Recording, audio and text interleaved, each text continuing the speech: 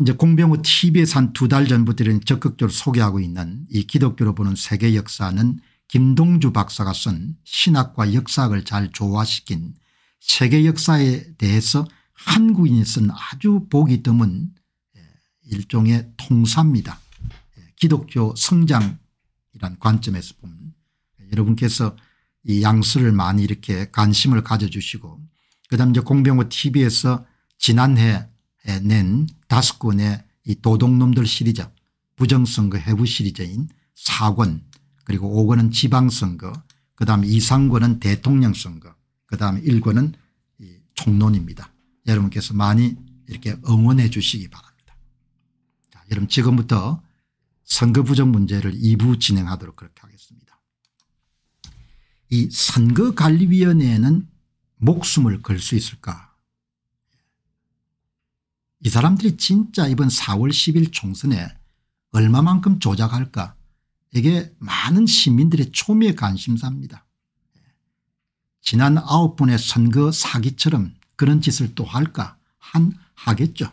얼마나 할까 그게 이제 관건인 겁니다. 하기는 하는데 얼마 하냐 이야기죠. 이번에는 더 위험이 증가한 겁니다. 많은 사람들이 알게 됐으니까 많은 사람들이 알게 됐음에도 불구하고 10월 11일 강서구청장 보궐선거를 야무지게 이름 조작하는 걸 보게 되면 은이 사람들이 4월 10일 총선에서는 어떻게 할지를 어느 정도 가늠할 수가 있습니다. 예. 여러분 이 보시게 되면 은이 사람들이 예. 이렇게 사전투표로 기록을 합니다.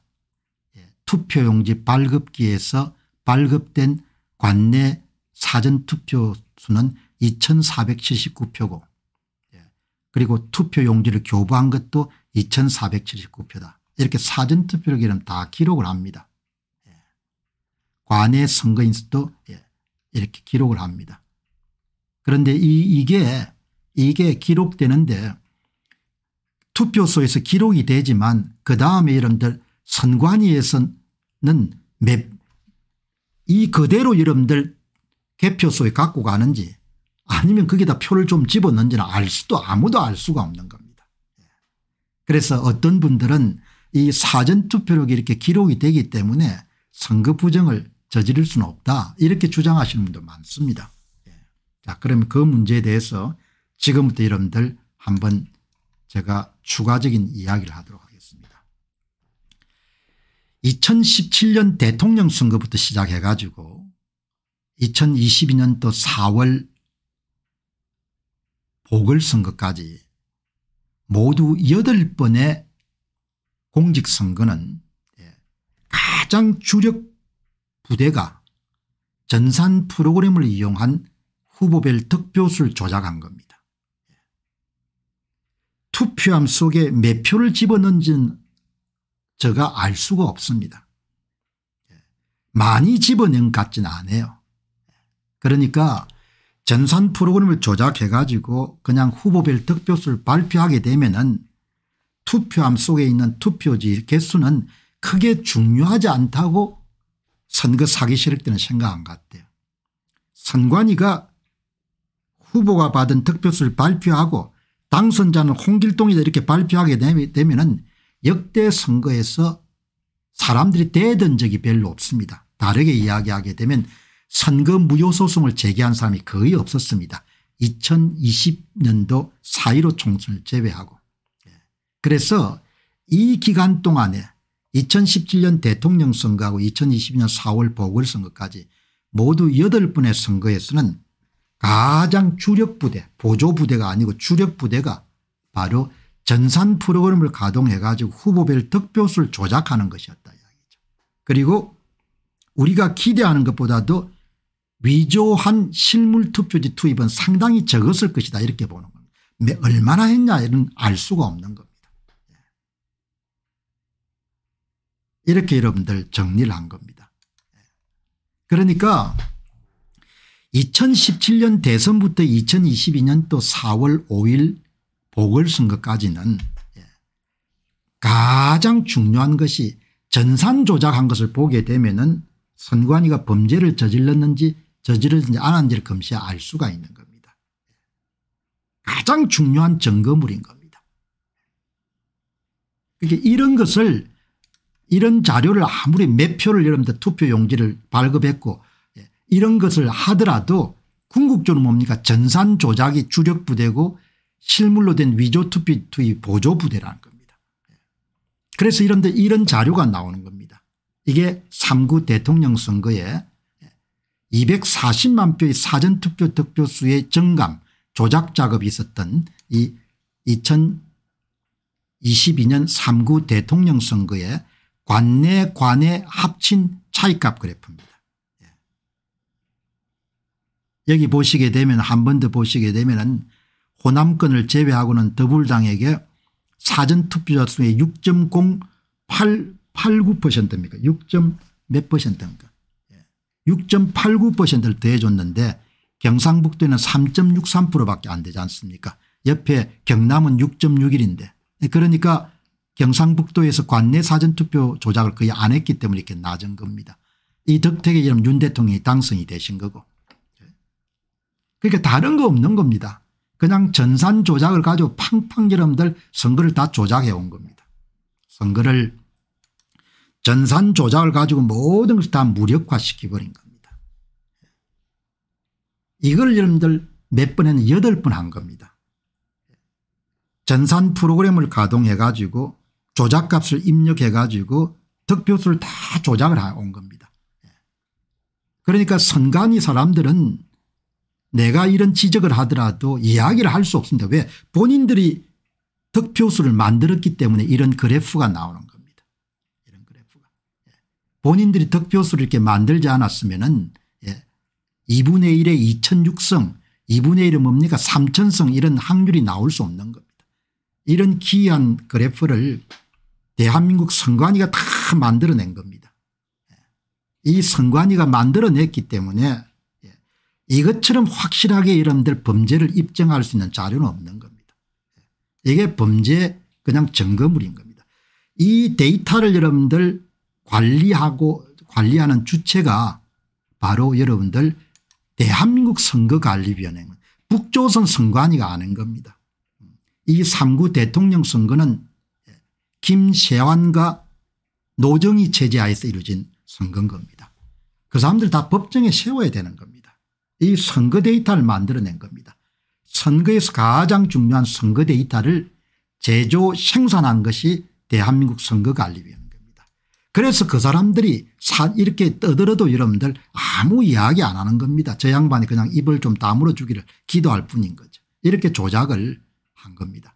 3구 대통령 선거는 총선이나 지방선거와 달리 한 표가 아쉽기 때문에 모든 데를 다 조작했기 때문에 전남 전북 광주까지 다 예, 더불당은 차이값이 풀렸습니다. 표를 더해 줬으니까. 예, 여기 보시게 되면 광, 광주 전북 전남이 다 이런 플러스 값이 나오는 겁니다. 국힘당은 다 마이너스가 나오고 예, 이렇게 여러분들 차이값 그래프가 이렇게 나오는 겁니다. 이게 여러분들 관내 사전투표 득표율입니다.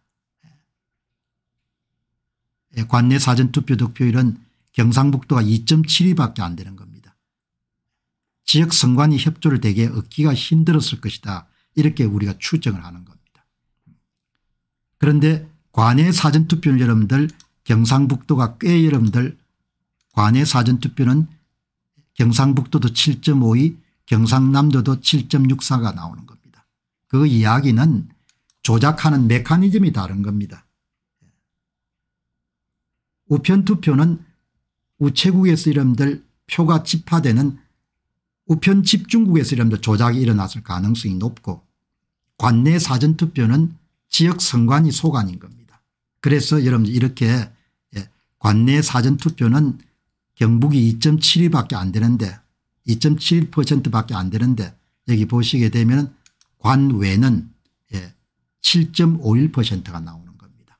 이렇게 조작을 해가지고 선거를 다 만들어 놓은 겁니다. 제외 국민투표들은 엉망진창으로 조작을 했지 않습니까 예, 이렇게 예, 이건 특별한 그런 행인 거죠.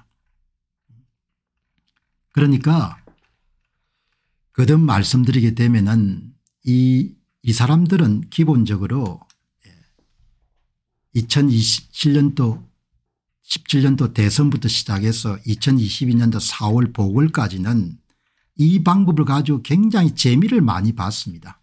어마어마하게 재미를 봤는데 이제 문제가 이 방법이 너무나 알려져 버린 겁니다. 예.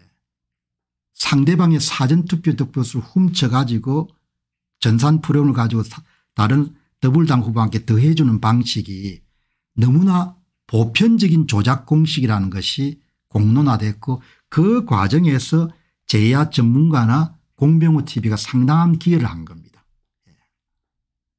예. 그리고 그 기여 가운데 아주 중요한 것은 2020년도 4.15 총선만 그런 방법을 사용한 것이 아니고 2017년 대선부터 본격적으로 상대방의 사전투표 득표수를 전산 프로그램을 가지고 훔치는 일을 해왔다는 것이 그 사람들에게 쐐기를 박은 겁니다.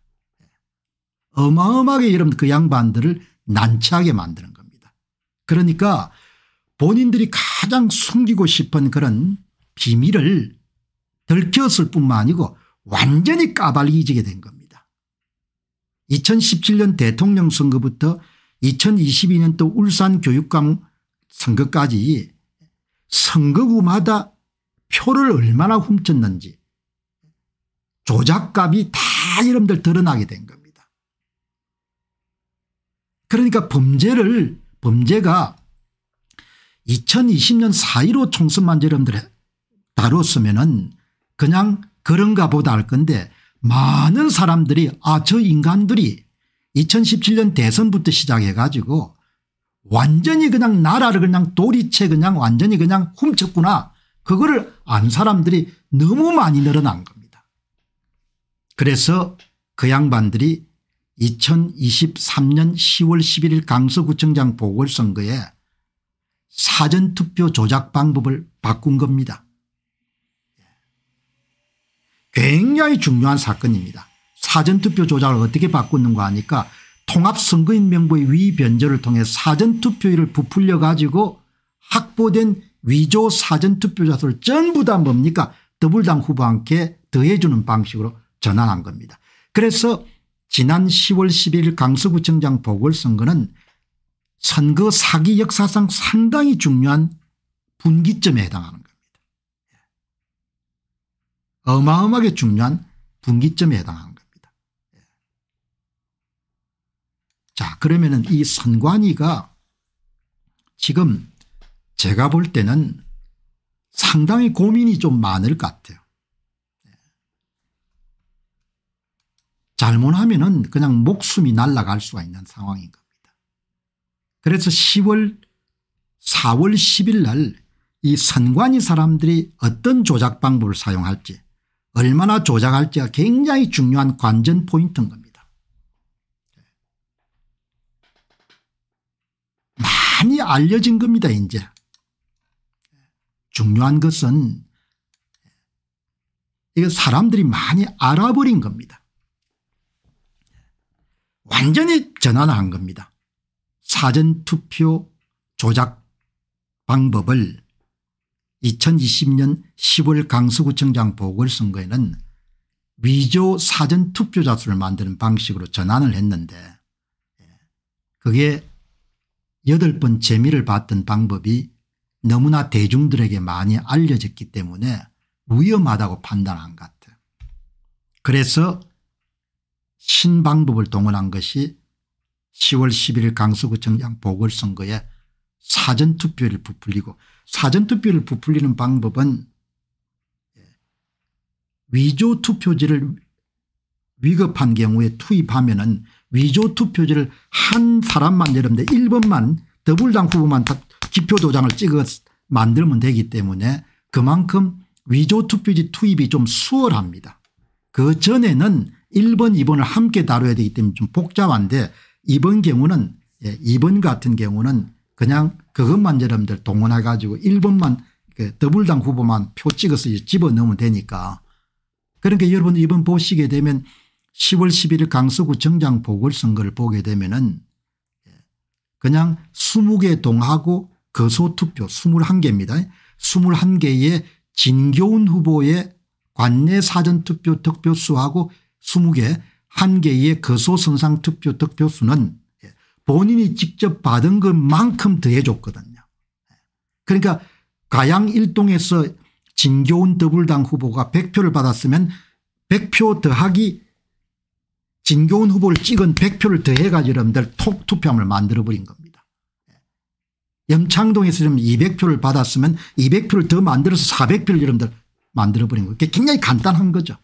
그 방법을 여러분들 동원을 이 양반들이 한 거죠. 그래서 이 사람들이 고민이 굉장히 많을 겁니다. 너무 많이 알려진 겁니다. 그리고 전산 조작이 발각될 위험도 상당히 커진 겁니다. 사람들이 알아버렸기 때문에. 그 사람들이 알게 된 것이 참 이 사람들에게 부담이 되는 겁니다. 그래서 이 양반들이 사전투표일 뻥튀기 방법을 동원했는데 10월 10일 날 이것도 많이 알려진 겁니다. 전국 차원에서 실물 위조 투표를 만들어 투입하는 것이 상당히 쉽지 않은 일입니다.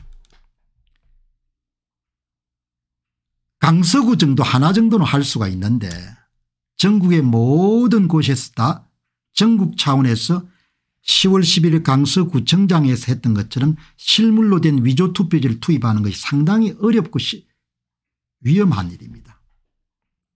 그리고 사전 투표자 수에 대해서 의문을 갖고 있는 사람들도 많이 늘어난 겁니다. 공병호 TV만 하더라도 이런 사전 투표자 수 조작에 대해서 수없이 방송을 했지 않습니까 예.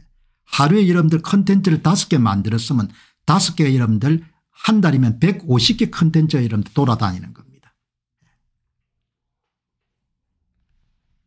그 이것도 만만치 않은 일인 거죠. 신종 방법을 고안해 가지고 재미를 크게 10월 11일 강서구청장 보궐선거에서 봤는데 재미를 봤는데 그것도 여러분들 많이 알려진 겁니다. 이게 알려지는 데는 제야 전문가도 크게 역할을 했고 공병호 tv도 많은 역할을 한 겁니다. 이 방법 이 사람들이 사전투표 득표수 훔치기 방법을 쓰다가 사전투표를 부풀리기 방식으로 전환했는데 그것도 즉시 찾아내 가지고 사전투표 부풀리기 방법을 다 까발리긴 거 아닙니까 동별로 몇 표를 집어넣는지가 다 드러난 겁니다. 윤 대통령의 의지가 있었으면 10월 11일 강서구청장 보궐선거 끝났을 때 검찰 수사 들어갔으면 모든 게 다 해결됐을 겁니다. 본인이 의지가 없는 사람입니다. 그리고 특히 전국 차원에서 실물로 된 위조 투표를 투입하는 것 강서구청장 보궐선거처럼 하기에는 상당히 위험한 겁니다. 그리고 선거 조작 기획자들도 고민이 많은 겁니다. 욕심은 이번에 딱 한 번만 성공시키면 나라를 다 먹을 수 있는데 이번에는 상황이 사람들이 많이 깨어난 겁니다. 그래서 고민이 있는 겁니다. 이번에는 최소 조작으로 적당히 의석수를 확보하고 그냥 다음 대선에서 왕창 해 가지고 그냥 나라를 다 삼키는 그런 전략도 이 양반들이 생각할 수 있겠죠. 1번하고 2번 사이에 여러분들 가늠을 안 하겠습니까 이번에 선거가 그냥 넘어가면 은 그게 끝장이라고 이야기하는 것은 선택 1번입니다. 그런데 이것도 실행하기에는 걸림돌이 있는 겁니다. 이번에 상황이 그렇게 녹록지 않은 겁니다. 군소정당들이 많이 등장했고 동시에 사람들이 많이 알아버린 겁니다. 보통 시민들도 공병호 TV가 아주 체계적으로 뭡니까 이 문제를 까발겼기 때문에 그리고 제가 젊은 날부터 이런 교육을 교육을 제대로 받았고 그리고 오랜 기간 동안 이렇게 여러분들 강연이나 저술 활동을 통해서 복잡한 그런 과제를 단순 명료하게 정리해 가지고 대중들에게 전달하는 훈련을 오랫동안 받았기 때문에 굉장히 크게 이번에 덕을 본 겁니다. 그 이야기는 그만큼 예, 다른 사람들에게 전달하는 능력이 있었다는 거죠. 이게 1번이나 2번 중에 할 겁니다. 그냥 생각 같아서는 1번 해가지고 그냥 탄핵시키고 그냥 빨리 뭡니까 우리가 차지했으면 좋겠는데 이게 이번에 상황이 그렇게 녹록지가 않은 겁니다. 너무 사람들이 많이 알아버린 겁니다. 그리고 어떤 짓을 하는지를 다 사람들이 안 겁니다. 그래서 여러분들 조금만 의식이 있는 사람들은 아 사전투표를 그냥 전산 조작을 해가지고 다 훔쳐왔구나. 그리고 아 전번에는 강서구청장 보궐선거는 작전을 바꾸어 가지고 그냥 실물 위조 투표를 그냥 아예 처음부터 만들어서 다 만들어 여러분들 그냥 개표하면 가져왔구나. 이걸 사람들이 대부분 다 아는 겁니다. 여러분 이렇게 나오니까 아는 거가 겁나잖아요. 아니까 들킬 가능성이 있는 거죠. 그래서 여러분들 선거 조작 기획자들도 고민이 많은 겁니다. 딱 한 번 성공시키면 그냥 다 먹을 수가 있는데 이번에는 상황이 그렇게 녹록한 게 아닌 겁니다. 저는 1번 쪽에 굉장히 비중을 두고 제야 전문가는 2번 쪽에 비중을 두는 거죠. 뭐 행위를 하는 주체들이 어떻게 마음을 먹을지는 모르는 겁니다. 그러나 저는 아 그 인간들이 10월 11일 강서구청장 보궐선거 조작하는 거 보면 눈 딱 감고 할 거다 이렇게 보는데 예, 제야 전문가와 이런 토론해 보면 제야 전문가는 공 박사님 이번에 그 애들 진짜 목숨 안 걸면 목숨 그냥 날라갑니다. 예, 그래서 이번에는 작전상 최소 조작으로 서로 적당히 여러분들 얼굴 세워주고 다음 대통령 선거에서 완전히 그냥 넘기지 않겠습니까 이렇게 되는데 지금 사내아인처럼 전 국민이 들고 일어나면 겁이 나겠죠. 이 겁이 나거든요. 대한민국 사람들이 양순한 것처럼 보이지만 욱하고 일어서게 되면 그냥 그냥 끝이지 않습니까? 죽는 일이거든요. 이렇게 여러분들 지금 돌아가는 거죠. 예, 그래서 선거가 뭐 아주 흥미진지하게 여러분 진행이 되는 거죠. 그런데 그 인간들이 여러분들 도망갈 수 없는 것이 이거지 않습니까 예. 전국의 읍면동 자료를 보게 되면은 예. 이런 짓을 했기 때문에 계속해서 씹힐 수밖에 없는 겁니다. 이렇게 자료를 다 만들었기 때문에 전국의 4.15 총선의 차이값 사전 빼기 당일에 읍면동 자료 3천 개 이상 읍면동 자료를 가지고 위에 더불당은 다 표를 더해줘 가지고 플러스 8.90 국힘당 다 표를 훔쳐 가지고 8.79 얼추 이름 뭡니까 2918 18% 정도 조작을 한 겁니다. 사전투표 득표수에 4.15 총선에서. 그러니까 사회가 아무리 썩어도 숫자는 썩을 수가 없으니까 예.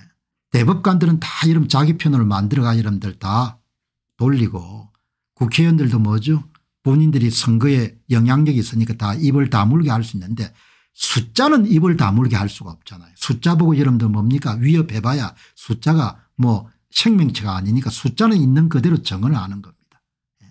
예. 이 보시기 바랍니다. 이런 짓을 해놓으니까 겁이 안 나겠습니까 조재현이 입을 다물 수 있고 천대엽 대법관은 입을 다물게 할 수 있고 이동훈 대법관 이름들 협력자로 만들 수 있는 겁니다. 숫자는 협력자를 만들 수 없고 숫자는 부역자를 만들 수가 없지 않습니까 음?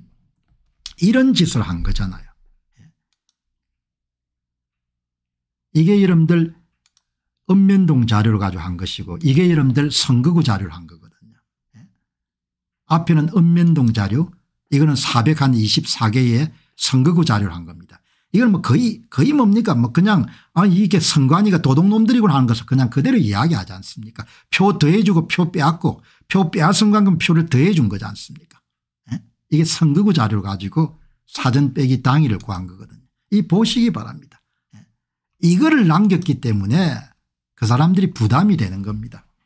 옛날 같았으면 여러분들 고소 고발을 밥 먹듯이 안 했겠습니까 그리고 선거관리위원회는 조사권을 갖고 있기 때문에 서울시 선관위 오라 가라 뭐 별짓을 다 했을 거 아니에요. 그러나 이야기를 못 하잖아요. 왜? 도둑질을 이렇게 해서 흔적을 다 남긴 겁니다. 총을 남긴 거 여러분 총을 쏘고 나면 총을 남긴 거 똑같지 않습니까 이렇게 파헤칠 줄 아무도 몰랐겠죠. 이 보시기 바랍니다. 이게 예? 서울의 이름 사전의 차이값입니다. 예? 이런 짓을 한 겁니다. 예? 서울의 40 여기는 읍면동이니까 서울에 서울에 아마 424개 읍면동일 겁니다. 이게 보시기 바랍니다. 얼마나 도둑질을 완벽하게 했는지 2분의 1에 424승이지 않습니까 이런 여러분들 조작질을 해가지고 남긴 겁니다. 그래서 이 사람들이 이게 많이 사람들의 계몽이 된 겁니다. 아무리 여러분들 깔아뭉개려고 하더라도 이게 보시게 되면은 이 서울의 관내 사전투표 득표율 빼기 당일 투표 득표율이네. 이건 관내 사전이네. 이건 관내로 고쳐야겠네. 이렇게 된 겁니다. 그래서 이 사람들이 제가 주장하는 것처럼 화끈하 해가지고 한 번만 먹고 대통령 탄핵하고 그렇게 해서 빨리 자기 대통령 만들어서 한 수십 년 수백 년 해먹고 싶은데 그게 하기에는 좀 위험을 부담해야 되는 겁니다. 그러면 이제 예, 적당하게 이런데 100한 50석 내외로 해가지고 서로 나누어 갖고 예, 그다음에 대선에서 그냥 없는 방법으로 예, 선거는 어차피 그 인간들이 다 장악하고 있으니까 그래서 윤 대통령이 역사적으로 엄청나게 중요한 분기점에 있는 겁니다.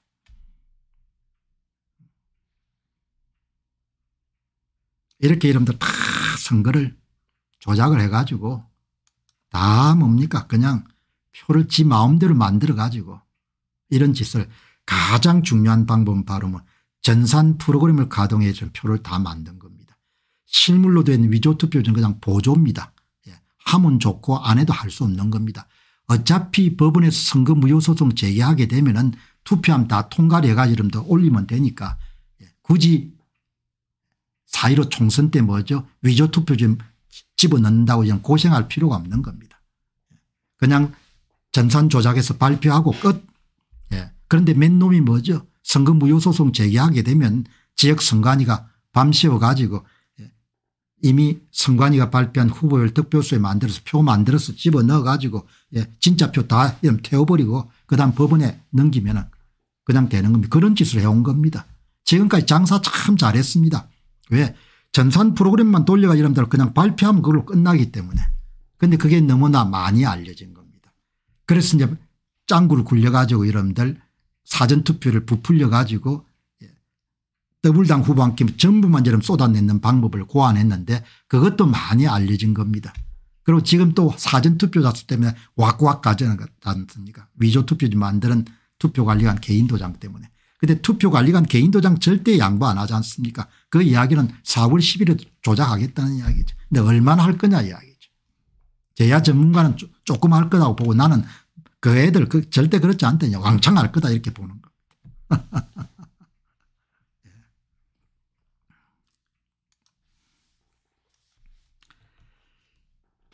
앞에서 이런 말씀드렸다시피 젤렌스키 여러분들 우크라이나 대통령이 서방으로부터 원조를 끌어내는데 실패하고 그다음에 전세를 역전시키기 위한 대공세가 이런 교착 상태에 빠졌지 않습니까 지도자라는 것은 모든 그런 행위에 대해서 최종적인 책임을 지는 거죠.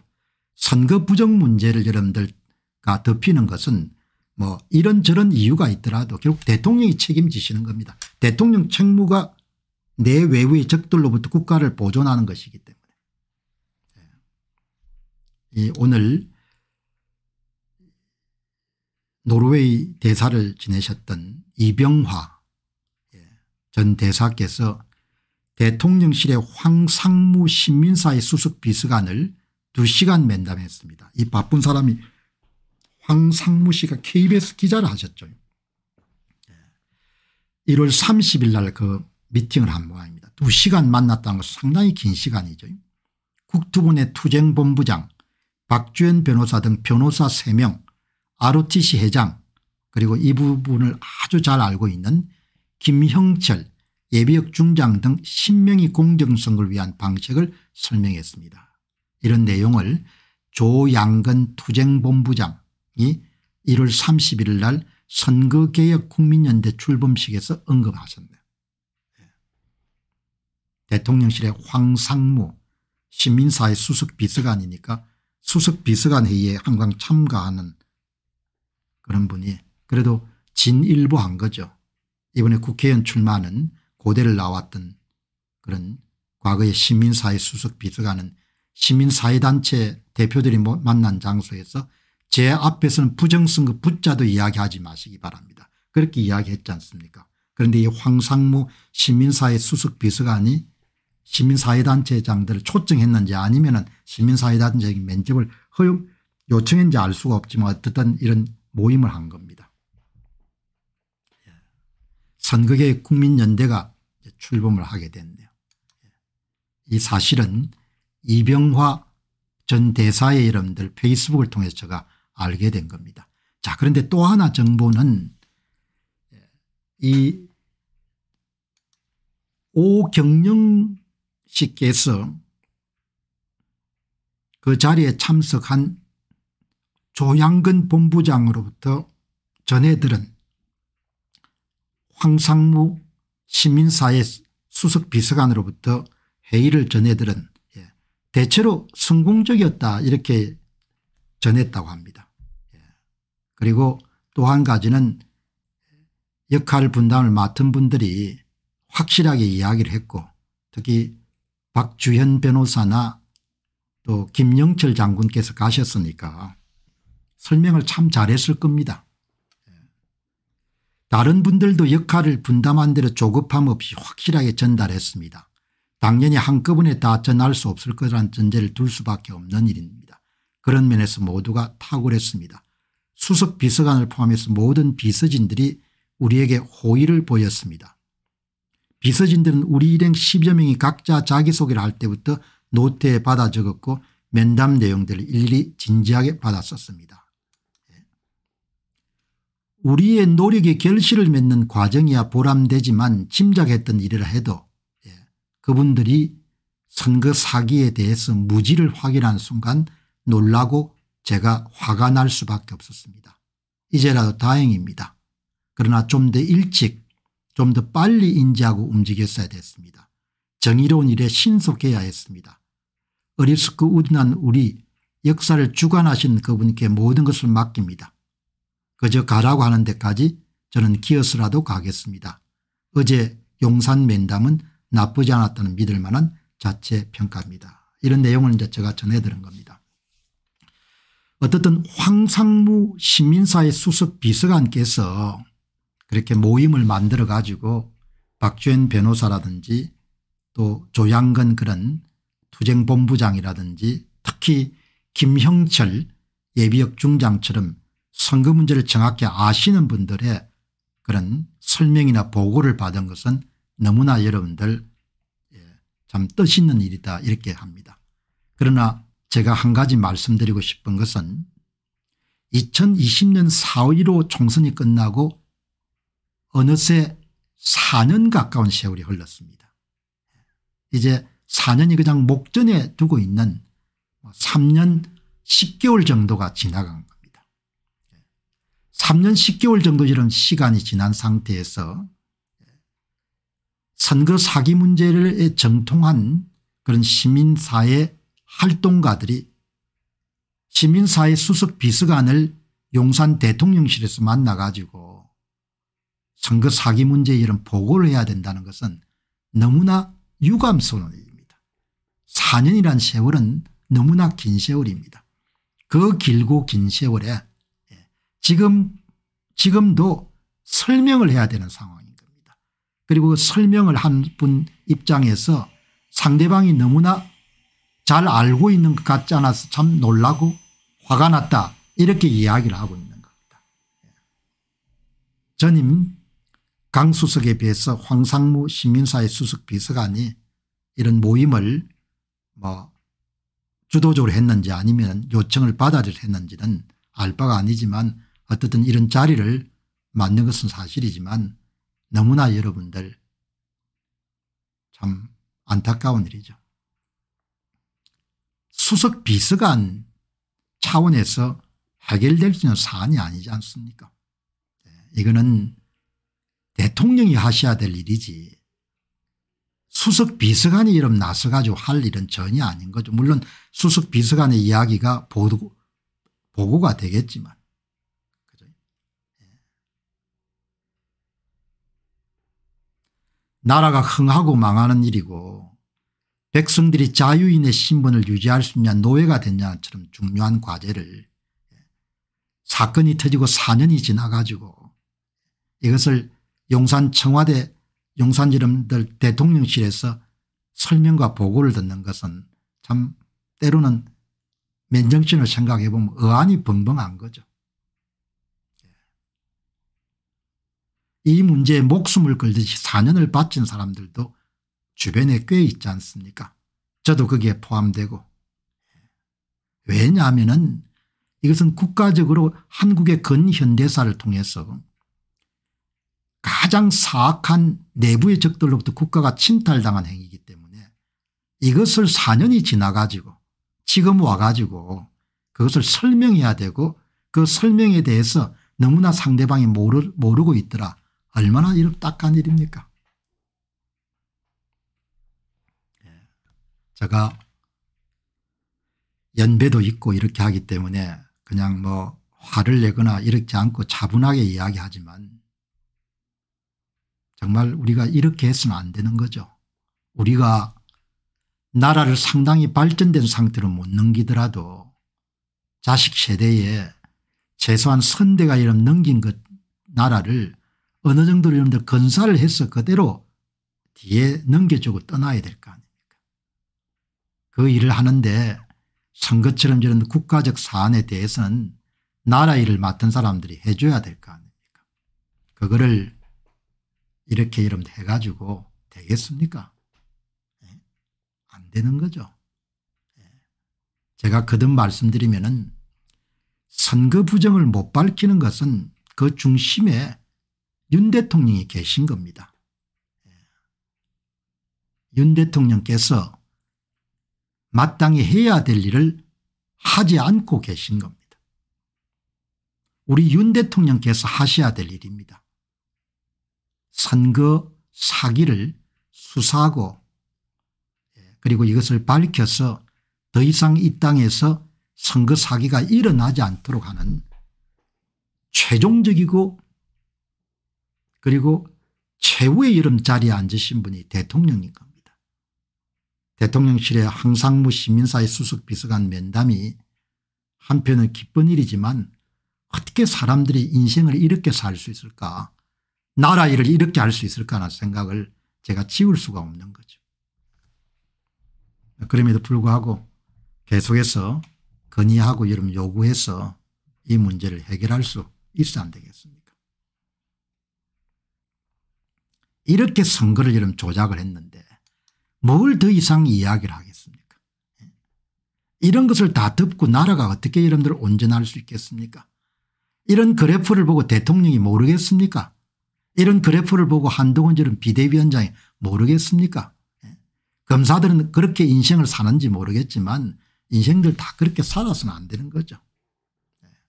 이거를 4년이 지나서 지금도 대통령께서 모른단 말입니까? 그래서 황상무 시민사회수석 비서관이 나서서 설명을 드려야 되는 겁니까? 국민을 모시고 국민을 보호해야 되는 사람으로서는 절대로 있어서 안 되는 일들을 지금 하고 있는 것이죠. 자 여러분 오늘 이 보시게 되면은 오늘 이제 방송의 이제 마지막 예, 대목입니다. 여러분들 이 제가 펴낸 초기의 도둑놈들 시리즈 세권 가운데 2권 3권이 대통령 선거를 다뤘습니다. 이 대통령 선거에 보시게 되면 은 대구 광역시하고 경상북도에서 이례적으로 사전투표 조작이 적었다는 부분에 대해서 굉장히 놀라움을 피력한 부분이 이렇게 나옵니다. 이게 2권입니다. 2022년 대선의 최대 이변 지역은 경상북도이고 조작을 아예 하지 않은 선거구가 다수 나타났을 뿐만 아니라 조작 정도가 형편없이 낮았다는 사실이다. 보수 광세 지역인 경상북도는 윤 후보의 사전투표 득표수를 훔쳐갈 수 있는 이재명에게 더해주기는 안성맞춤 지역이었다. 보수의 아성인 대구도 마찬가지였다. 낮은 조작값은 통지 납득할 수 없는 일이었다. 이게 2023년도 예, 1월 2월 무렵의 글입니다. 선거를 만지는 사람들은 두 지역에서 털어놓을 수 없는 특별한 사연이 있었던 것 같다. 윤석열이 경북에서 얻은 사전투표 득표수 67만 204표나 된다. 그런데 빼앗긴 득표수는 고작 2.31%인 2만 1,804표에 불과하다. 사전투표 선거인수 사전투표 조작에 동원된 득표수는 4만 4,882표로 총 조작값 4.75%에 지나지 않는다. 2020년 대선 전국의 총 조작값 평균치가 14.62% 정도를 영웅에 두면 이례적으로 낮다. 윤석열의 사전투표 득표수 보잘것없는 전남 전북 광주에서조차 사전투표 조작을 위해서 6에서 7만 정도를 이동시켰는데 경상북도에서 고작 4만 4천 표란 것은 믿을 수가 없다. 경상북도에서는 거의 조작이 일어나지 않았다고 볼 수 있다. 3구 대선 가운데서 이변 중에 최대의 이변이다. 9개 선거구에서는 조작 흔적이 전혀 없다. 개표하는 동안 그 사람들이 잠시 졸기라도 했나 놀랍게도 경상북도의 사전투표 조작 흔적이 전혀 보이지 않는 선거구가 무려 9개 지역에 나왔다. 득표수를 더하고 빼는 작업을 전혀 하지 않았다는 이야기다. 여기 사전투표 조작 흔적이 없다는 이야기는 조작값이 0이라는 이야기다. 선거관리위원회가 발표한 후보별 득표수에서 사전투표 조작을 위해서 득표수 증거와 감소 작업의 흔적이 전혀 남아있지 않는 경우를 말한다. 이게 여러분들 관내 사전투표의 경상북도가 2.72 대구가 4.37입니다. 전국 평균이 7.06%인 겁니다. 이렇게 조작을 적게 한 겁니다. 특히 경상북도는 어마어마한 겁니다. 관내 사전투표에 뭔가 여러분들 일이 있었던 것 같아요. 제대로 잘 안 돌아간 겁니다. 이거를 2023년 1월 무렵에 쓴 책에서 앞에 내용을 쓴 겁니다.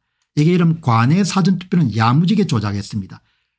비호남권의 이름 관내 사전투표 관외 우편 투표 조작률이 6.61%인데 경상북도가 7.51% 대구가 6.28%입니다. 우편 투표는 제대로 조작을 한 겁니다. 관내 사전투표는 경상북도에서 거의 못한 겁니다. 왜? 두 개 조작하는 방법이 달랐기 때문에 그 내용이 들어가는 겁니다.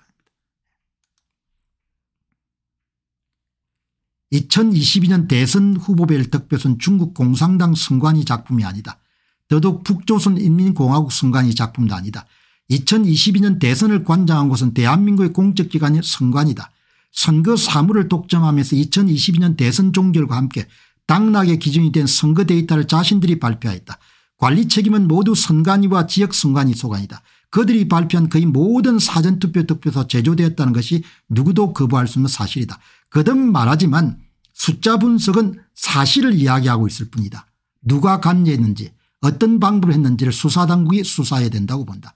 2020년 6월 17일 같은 문건에서 한성철은 전자투표지 문제의 심각성에 대해서 이렇게 주장한다. 예. 첫째 개표소에서 투표지가 전자개표를 통과할 때 성능의 미흡으로 정확한 집계가 되지 않을 수 있습니다. 하지만 이보다 더 위험한 것은 전자개표기에 내장된 프로그램 명령에 따라서 개표 집계가 조작 가능하고 이때 기계 내부에서 조작뿐만 아니라 외부 통신으로도 조작이 가능합니다. 둘째 각 선거구에서 집계된 개표 상황표 결과를 전자개표기의 중앙선관위 서버로 전송한 단계에서 역시 조작이 가능합니다. 셋째 중앙선관위 서버 자체도 해킹 및 조작될 위험이 있습니다. 넷째 중앙선관위 집계 서버에서 각 방송사로 전송하는 단계도 조작이 가능합니다. 다섯째 이처럼 전자개표를 사용하면 개표 현장에 전개된 상황과는 달리 개표 결과를 운용 프로그램 조작 해킹 등을 통해 수정 변경이 불가능합니다. 변경이 가능합니다. 이는 몇몇 주체에서 언제든지 조작이 이루어질 수 있음을 시사하고 이러한 중범죄가 아무도 인식하지 못하는 가운데 정광석화처럼 진행된다는 것을 의미합니다. 선거 사무에 대해서 아주 정통한 한성전 전 중앙선관위 여러분들 노조위원장의 지적입니다. 제가 일관되게 이야기해 봤던 겁니다. 여러분 보시기 바랍니다. 어제 관내 사전투표 조작에 대한 방송이 나가고 난 다음에 예, 이그 자료를 제공했던 분께서 보낸 내용입니다. 1월 30일 날 방송 내용 가운데 대선 관련 대구 경북 지역에 대해서 관내는 조작이 없었던 것 같고 관내 우편투표는 무지막지하게 한 것으로 보인다. 관내는 관내 사전투표는 지역 선관위 협조가 없이는 안 됩니다. 선관위 사무실에 보관된 투표함에 접근하기 위해서는 지역 선관위 협조가 반드시 있어야 된다고 생각합니다. 그런데 지역 선관위가 협조하지 않거나 또는 조작할 필요가 없는 경우는 하지 못하거나 하지 않습니다. 그러나 관내 사전투표 우편 사전투표는 조작을 하고 안 하고는 지역 선관위와 무관하게 할 수 있습니다. 왜냐하면 우편 집중국에 하기 때문입니다.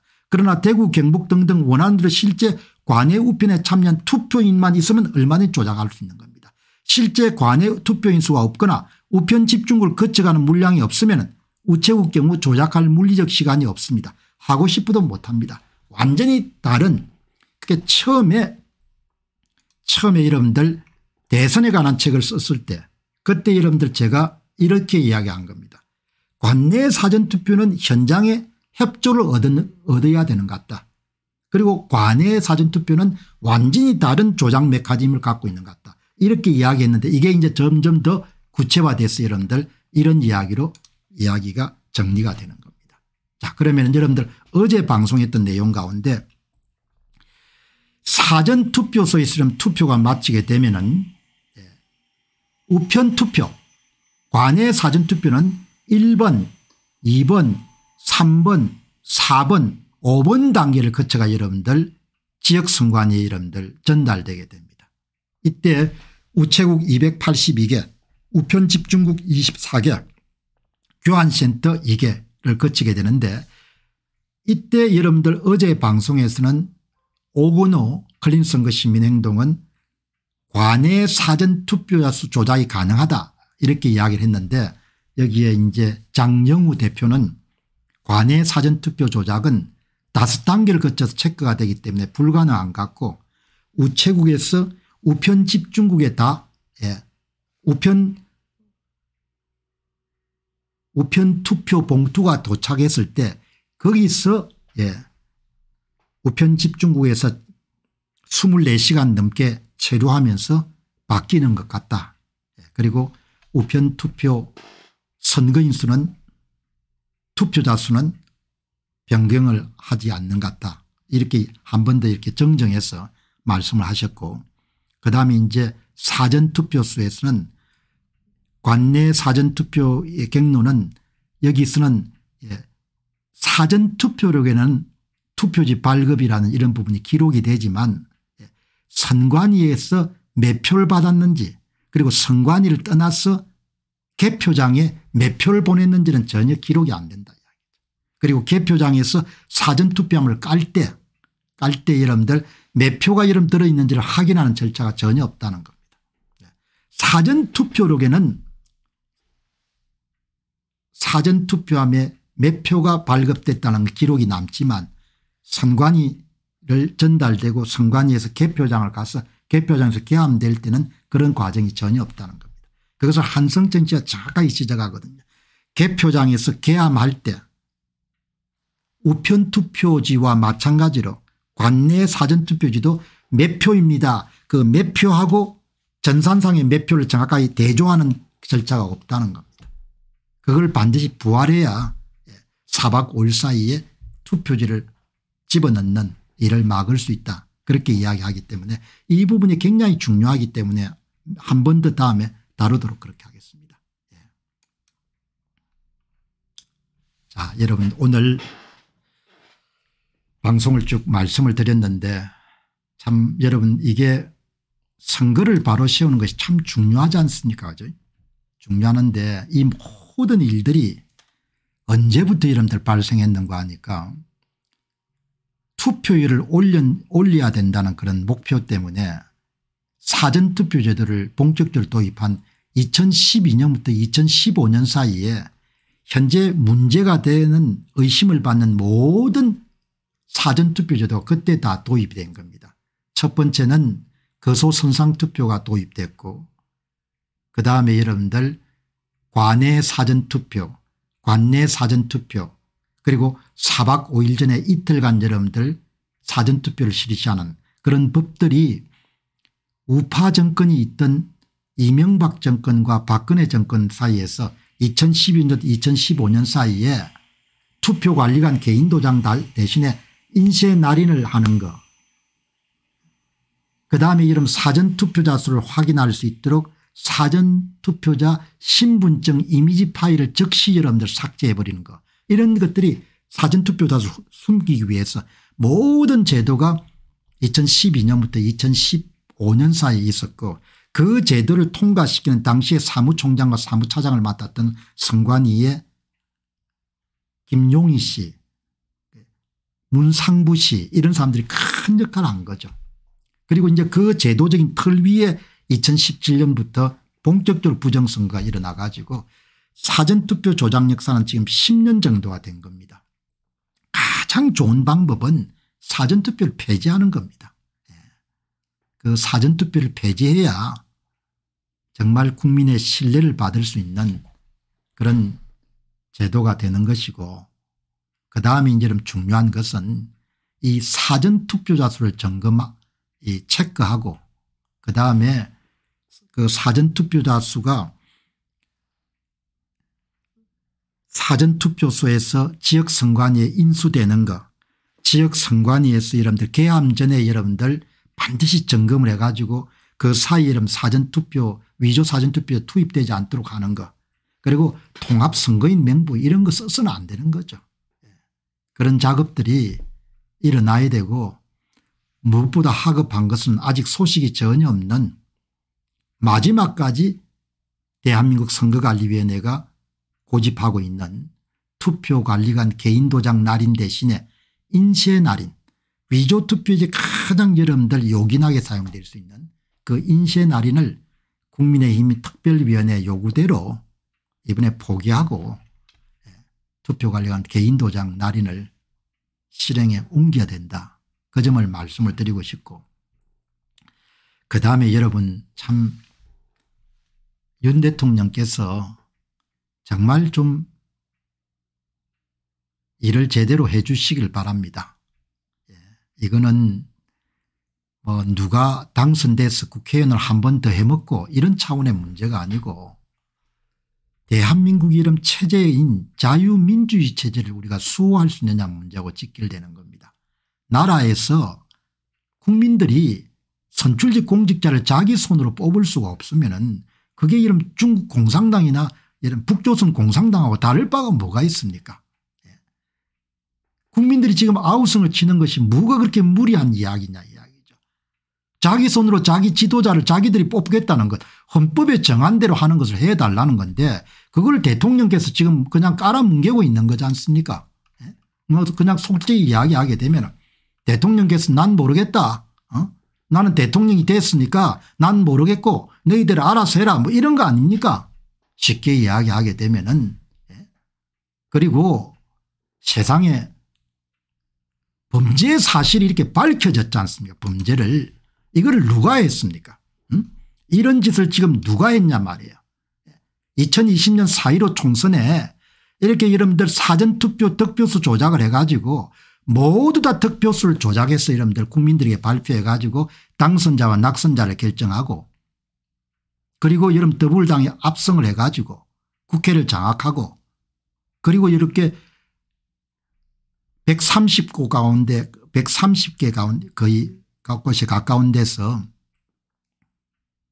후보들이 이름들 선거 무효 소송을 제기했는데 3년 이상 끌어가지고 재검표를 했는데 온갖 종류 여러분들 뭐죠 예.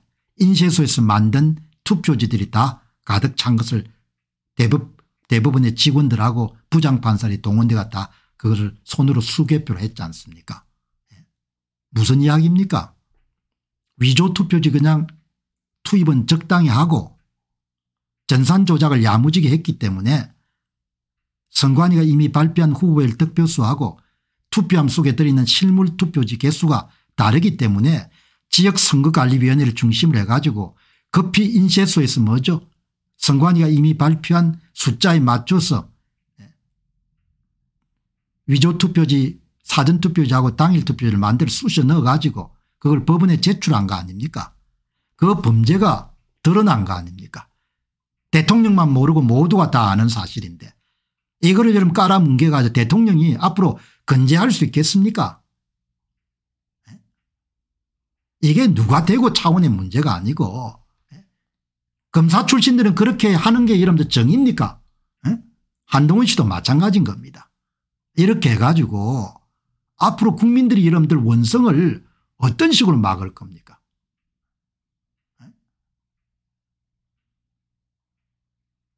초등학생도 다 알 수 있는 앞으로 잘하면 되지 앞으로 어떻게 잘합니까 어? 선거 부정을 여러분들 아홉 번 저지른 자들에 대해서 어떤 종류의 수사나 처벌이 없는데 앞으로 뭘 잘하겠습니까 잘할 수 없는 겁니다. 예. 우리는 법을 제대로 공부한 사람들은 아니지만 법이라는 것이 결국은 양심 그 이상 이하도 아닐 건데 건강한 상식을 이름 가진 사람들은 법 기술자들은 아니지만 범법 행위가 발생하게 되면 국가를 여러분들 완전히 허물어뜨릴 수 있는 그런 내란죄 여러분들 이상의 그런 범죄가 발생하게 되면 대통령이 뭘 해야 됩니까? 대통령이 뭘 해야 됩니까? 에? 삼척 동자도 다 아는 거지 않습니까 그거를 깔아뭉개고 자유를 외치고 법치를 외치고 민주를 외치고 정의를 외치면 국민들이 얼마나 우습게 보겠습니까 저 허우대 멀쩡한 인간은 맨날 자유만 외치네 그렇게 안 하겠습니까 그렇게 이야기를 하죠. 제가 절제된 표현으로 이 정도 표현하는 겁니다. 정말 마음속에 들어있는 그런 상념들을 다 털어놓게 되면 더 심한 이야기가 나올 수 있는 거죠. 대통령은 이렇게 하셔서는 안 되는 겁니다. 대통령 권한이라는 것이 있고 또 대통령이 나라의 가장 여러분들 마지막을 버텨줘야 될 그런 분이지 않습니까 이 엄청난 여러분들 부정선거를 대통령 이름들 방어하게 돼서 왜 여러분들 다 덮는 그런 사람으로 오해를 받아야 되냐 이야기죠. 이게 여러분들 이게 선거입니까 에? 이게 선거냐 말이에요 이게. 이런 짓을 누가 했습니까 권순일 선관위원장하고 조혜주 밑에서 이런 일이 일어난 거 아닙니까 이런 부정선거를 전산 조작을 해가 모든 득표수를 다 누가 만들었냐 이야기죠. 응? 어떻게 만들었냐 그걸 수사를 왜 안 하냐 이야기죠. 그 수사를 하면 나라가 금시에 평정될 건데 그러니 대통령 이름 오해를 받지 않습니까 무슨 덕을 본 모양이다. 응? 무슨 책을 잡힌 모양이다. 누가 보더라도 이러면 오해를 안 하겠습니까 이게 대통령 당신이 당선되던 2022년도 3구 대통령 선 결과지 않습니까. 관, 사전투표는 관내 사전투표 관내 사전투표 제야국민투표 거소선상투표 제외공간투표로 이루어지지만 거의 전부가 뭐죠 관내와 관내 사전투표로 구성되죠 대부분이 예. 이 사전투표 차이값 보시기 바랍니다. 선거에 관한 특수지역인 광주광역시하고 전라북도 전라남도에서도 오지게 훔쳤지 않습니까 윤 대통령 표를 거의 80% 이상 훔친 겁니다. 전남권에 호남 호남권에서 이거 얼마나 대단한 그래프입니까 3구 대통령 선거는 전국에 3800개 가까운 여러분들 읍면동에서 모두 다 이재명 후보가 승리를 거둡니다. 사전투표 득표율 빼기 당일 투표 득표율이 다 플러스 값입니다. 무슨 이야기입니까 당일 투표 득표율이 기준점이니까 더 얹어줬다는 겁니다. 표를 누가 함께 훔쳐가지고 하단에 있는 윤 대통령 후보의 표를 훔쳐가지고 다 더해 준 거지 않습니까 응? 이것처럼 이러면 선거 부정을 예? 생생하게 전달할 수 있는 그런 자료가 어디 있습니까 이걸 누가 했습니까 예?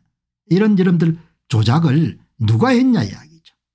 우리가 이야기한 것은 딴 게 아니고 이런 조작을 예, 이런 조작을 누가 했냐 이야기입니다. 이런 조작을 누가 했냐 이야기입니다.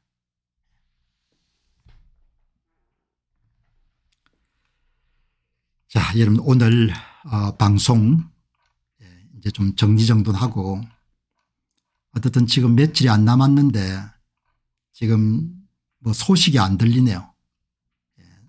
예. 그런 국민의힘의 특별위원회가 요구한 그런 투표관리관 개인 도장을 찍는 것 인쇄날인 대신에 그 부분이 뭐 어떤 종류 여러분들 지금 합의점을 찾지 못한 것 같습니다. 그게 합의점을 찾아야 될 겁니까 투표 용지에 진본 정본임을 입증하는 투표관리관 개인 도장 날인이 공직선거법에 없는 이름 규정되어 있는데 그거를 여러분들 대한민국의 선관위가 내부 규칙인 관리 규정을 여러분 바꿔가지고 인시의 날인을 고집하고 있는데 얼마나 웃기는 나라입니까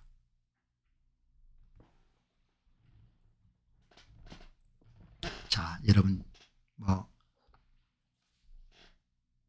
노력하다 보면 또 좋은 시절이 안 오겠나 그런 생각을 하게 됩니다. 자 여러분 오늘 마무리 광고 하나 하고 그다음 방송 마무리하도록 그렇게 하겠습니다. 이 공병호 tv에서 이제 소개하고 있는 이 기독교로 보는 세계 역사 예, 여러분들이 독서 좋아하시는 분들은 깊은 관심을 가져주시고 그다음에 이 도둑놈들 시리즈 예, 선거 부정을 파헤친 이 시리즈가 많이 보급돼서 더 많은 사람들이 참정권 침탈 행위에 대해서 인식을 하고 그리고 행동에 나설 수 있도록 여러분께서 힘을 대해 주시기 바랍니다. 자 변함없이 여러분들 오늘 방송 마무리하고 또 내일 5시 무렵에 여러분 찾아뵙도록 하겠습니다. 오늘 좋은 하루 되시기 바랍니다. 감사합니다.